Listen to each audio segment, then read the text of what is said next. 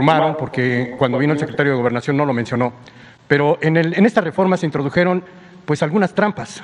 Se introdujo, por ejemplo, el que los partidos políticos no pierdan registro cuando no tengan votos.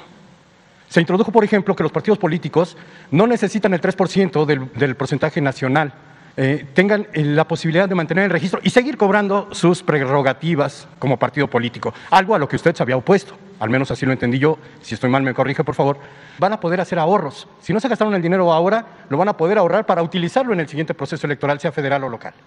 O sea, presidente, eso no es lo que usted había propuesto. No, no sé hay que ver si está eso que tú estás Está aprobado por el dictamen que aprobó la Cámara de Diputados. Porque no se puede eh, constitucionalmente quitarle presupuesto a los partidos. No, pues este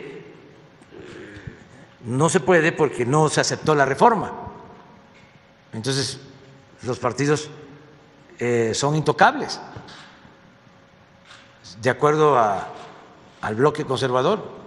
Eh, perdón, presidente, lo que ocurre es que esta reforma no la aprobó el bloque conservador, la aprobó eh, Morena y sus aliados, y en este caso los aliados son los beneficiarios. El Partido Verde que hoy es aliado de Morena, que lo fue del PRI, que lo fue del PAN, y que bueno, pues el Partido del Trabajo también, que había perdido el registro y se lo recuperó el PRI. Habría, que ver, habría que verlo este, mañana, si te parece, este, para que no haya distorsiones claro. ¿sí? y se analice bien. No, la Constitución no se toca, presidente, pero se hacen estas maniobras para que los partidos políticos mantengan el registro, aun cuando no tengan los votos suficientes para ello. Hay que, hay, que ver. además, o sea, resulta que este, se oponen a que nos ahorremos 15 mil millones de pesos. Y luego vienes tú con esto. No, no, este, no por eso, por lo que sea. Por lo que sea. ¿sí? Entonces, ya con eso, ahora resulta que también vamos a ser nosotros culpables. la, este ley la aprobaron los diputados de Morena y del Partido Verde y del Trabajo, no fue la oposición. Y no le estoy diciendo que fue, sea responsabilidad de usted. Digo que es responsabilidad de quienes lo incluyeron. No, pero. Quienes lo aceptaron este chantaje. Muy buenas tardes amigos que nos sintonizan en el canal de las benditas redes sociales con su buen amigo Charlie. Sean bienvenidos a esta transmisión hoy 8 de diciembre del 2022. Tómala por gandallas. AMLO se las deja ir. Sí, así como ustedes escuchan, mexicanos no pueden creer lo que hicieron los del Partido del Trabajo, los del Partido Verde y algunos de Morena increíble porque resulta que en la el plan B que metió el presidente, sin que le consultaran al presidente, añadieron unas cláusulas para beneficio de ellos. Increíble, pero cierto. esto vamos a hablar en unos minutos, así que vamos rápidamente al intro del canal para empezar. Tengo la dicha enorme de eh, gobernar en un tiempo en que existen las benditas redes sociales. ¿Qué más le puedo pedir a la vida? Muy buenas tardes amigos, sean bienvenidos a esta transmisión y también un cordial saludo a los que posteriormente pues vean esta repetición. Tómala por gandallas, AMLO se las deja ir. Mexicanos no pueden creer lo que hicieron estos personajes que apoyan supuestamente a la 4T y resulta que cambiaron el plan B del presidente Andrés Manuel López Obrador. Algo muy, muy, muy grave. Y ahí está, mire, esto ya empieza a salir en varios medios. El Partido Verde, el Partido del Trabajo, socios del Partido de Morena, quieren garantizarse dinero sin votos pero el presidente dice que no. Y dijo que no porque de hecho, así como lo cuestionaron en la mañanera, el presidente no sabía que lo habían cambiado y eh, inclusive también mencionó que va a mandar a llamar al secretario de gobernación, Adán Augusto, para que él explique qué fue lo que pasó, porque eso no estaba incluido durante el plan B que había estipulado el presidente. Y es que durante la discusión del plan B, que se hizo la madrugada del miércoles, los diputados de Morena y aliados le hicieron cambios a la iniciativa presidencial que favorecen, ¿eh? escuchen ustedes, favorecen al Partido del Trabajo y al Partido Verde. Una fuerza política que siempre se ha aliado con el poder del turno, hay que reconocerlo, para que sea más fácil conservar su registro y por lo tanto las prerrogativas que reciben, así como la posibilidad de guardar estos recursos públicos para otros procesos electorales. El plan B del presidente Andrés Manuel López Obrador fue modificado en la Cámara de Diputados en beneficio, les repito, de los dos aliados de Morena en el Congreso, que son los partidos del trabajo y el Partido Verde Ecologista, para facilitar la permanencia de su registro y por lo tanto el poder recibir recursos públicos, una situación que llevó al presidente a decir que estos puntos no fueron propuestos por él y podrían ser quitados de la reforma legal.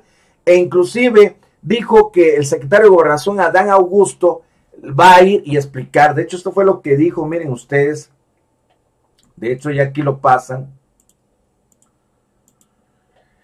Veamos que mañana el secretario de Gobernación, Adán Augusto López Hernández, venga y nos explique. Habría que verlo mañana para que no haya distorsiones y se analice bien por qué hay mucha manipulación.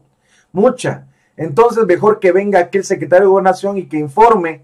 Comentó esta mañana el presidente López Obrador en su conferencia mañanera, a la par que advirtió, si fuese grave, yo mismo plantearía que se quite. La verdad, qué grave lo que hicieron el Partido del Trabajo y el Partido Verde al meterle mano sin consultar al presidente y solo para su beneficio. Es lamentable todo esto porque, pues miren ustedes, aquí está este documento. Dice aquí esto que se habla en la mañanera es real, pero no es parte de la iniciativa del presidente Andrés Manuel López Obrador este fue el chantaje del Partido del Trabajo y Verde para dar los votos. Y miren, aquí no podemos decir que se está inventando, porque hasta lo cuestionaron al propio presidente y el presidente dijo que iba a llamar al secretario de Gobernación para que le explique y si habría que quitarla, inclusive va a quitar esta, este plan B que ya habían metido y aprobado para que entrara el Senado. Miren, de los promoventes que avalaron estos cambios de último minuto son Fernández Noroña, el que explique el chantaje. Ni Morena ni AMLO propusieron esto. Y sí, y no solamente Fernández Noroña, vean ustedes. Ahí está el documento.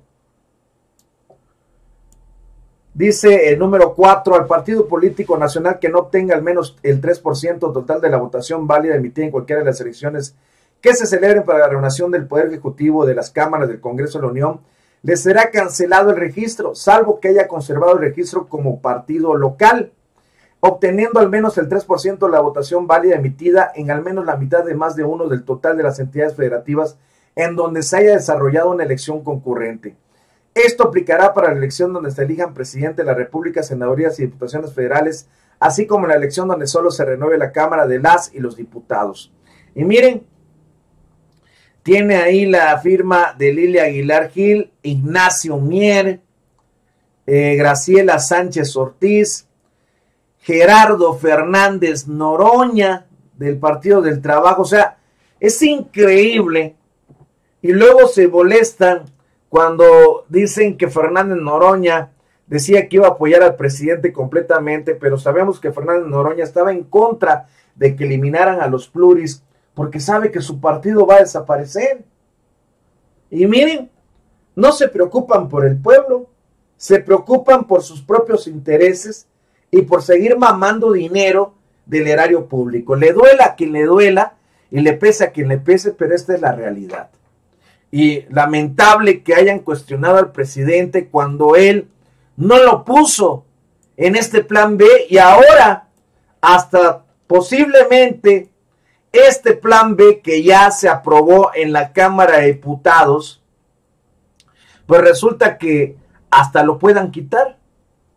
Porque dice, si fuese grave, yo mismo plantearía que se quite. Y el secretario de Gobernación, Adán Augusto, será llamado el día de mañana para que explique qué fue lo que pasó y por qué el Partido del Trabajo y el Partido Verde aprobaron esto en el plan B electoral y sin dárselo a conocer al presidente Andrés Manuel López Obrador, sacando solamente su provecho. Y sorprendente que esté Gerardo Fernández Noroña. Ignacio Mier, que es de Morena. Y del Partido Verde también. Imagínense, donde estos partidos iban a ser los beneficiados, iban a seguir recibiendo recursos públicos y no iban a perder el registro. Como siempre buscando sus pinches intereses. Y es que el Partido del Trabajo, el Partido Verde y el PRD también, entre otros, todos ya son partidos antiguos y de trayectoria, al igual que también el PRI. Que ahorita el Partido Verde y el Trabajo no tengan cuadros políticos o credibilidad para ganar con votos y en solitario, ese no es problema del elector ni de los contribuyentes, no es problema de los ciudadanos. Si no somos el pueblo beneficencia pública o similar para estar manteniendo a políticos a de agrapa, o sea que querían que lo siguiéramos manteniendo como se mantiene a los del PAN, a los del PRI, a los del PRD y a los de MC. El interés que está buscando el presidente con esta reforma electoral y el plan B es para beneficio de los mexicanos, pero siempre tienen que salir los gandallas y lamentable en esto también salió Fernando Noroña, que Fernando Noroña siempre ha estado en contra de eliminar pluris por lo mismo. Porque no quieren perder el registro y porque quieren seguir mamando del erario público el dinero que le dan a los partidos. Esto la verdad demuestra que no tienen ninguna calidad moral, ya que avala estas cláusulas que buscan el beneficio de su propio partido y no las del pueblo. Sí, no les importa el pueblo. Por eso yo siempre he dicho que puede uno gritar en la tribuna lo que quiera y que muy defensor y que le da madriza a los opositores, pero la realidad, cualquiera puede gritar, cualquiera puede mentar madres y donde se ven las cosas son en los hechos. Y el problema es empoderar a todos estos partidos satélites de más que después andan chantajeando con los votos, que por la mayoría calificada, quítenle los votos a la derecha y no a Morena, que ahorita el presidente necesita, necesita que se aprueben estas reformas para beneficio de todos los mexicanos y se necesita la mayoría en el Congreso. Es el momento de que se separen estos parásitos chantajistas si realmente están también por sus intereses y no por el pueblo, pues lo mejor es que se larguen a engañar a su madre porque no se necesitan. Por eso es importante cerrar ya filas solamente con la bancada de Morena y quitar a todos estos parásitos satélites, partidos satélites, que solo se aprovechan del poder en turno y siempre lo han hecho, no es de ahorita. Y me extraña que Fernández Noroña se haya prestado a esta farsa, sobre todo porque ya este plan B ya pasó en la, en la Cámara de Diputados y iba para discusión en la, en la Cámara de Senadores. Y ahora por la estupidez que hicieron, el presidente dijo que si esto es muy grave, él mismo lo iba a quitar. ¿Y quiénes son los perjudicados? Los mexicanos. Pero síganle aplaudiendo a ídolos de barro, que aquí se ven los verdaderos intereses por los cuales se están ocupando una curul. Tómala, por gandallas, AMLO se las deja ir y mexicanos la verdad que no pueden creer lo que se atrevieron a hacer sin consultarle al presidente. Y pues bueno amigos, muchas gracias por acompañarnos en este corte informativo del canal de las benditas redes sociales con su buen amigo Charlie. Los invito a suscribirse al canal, activen la campanita, denle en todas para que les lleguen las notificaciones cada vez que transmitamos. Y de igual manera compartan y difundan los videos para que esta información llegue a todo México y se sigan ardiendo los derechangos, claro que sí. Suscríbanse a los canales, compartan los videos y nos vemos hasta la próxima. Muy buenas tardes.